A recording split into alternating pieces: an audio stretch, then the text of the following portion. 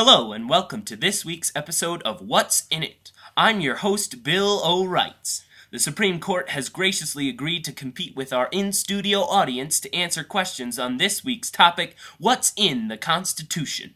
Tonight, we will ask a question about what's in the Constitution and then let both the Supreme Court and our audience answer it.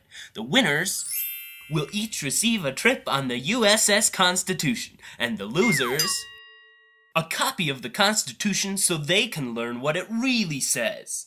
Okay, let's get started. Question 1 based on the Constitution, who is allowed to make law for the United States?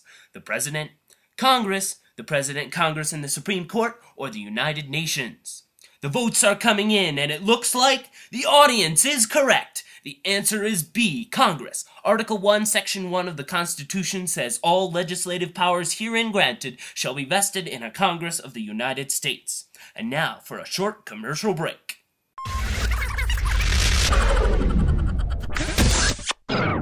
Returning from our break, the score is 1 to 0 with the audience in the lead. The next question is Who has the power to regulate public education?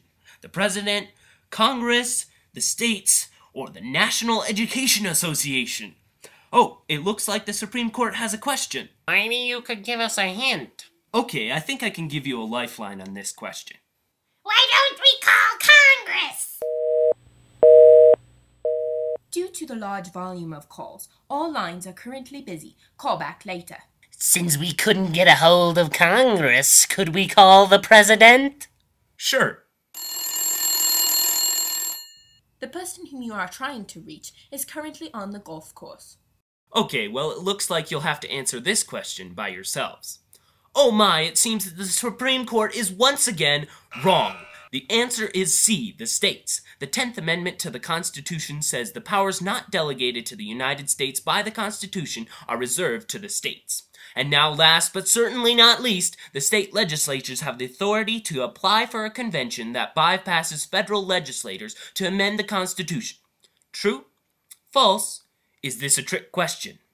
The audience has unanimously answered A, true, the correct answer. The answer is in Article 5. Check it out at conventionofstates.com. And the winner is. The in studio audience with a perfect score. And the losers, well, at least they can say they tried. Join us for next week's episode of What's in It, where we'll find out what's in the White House. Thanks for listening. The sponsor for tonight's show is Convention of States. To save our country from a Supreme Court similar to that portrayed in this video, visit the Convention of States website at conventionofstates.com and volunteer today.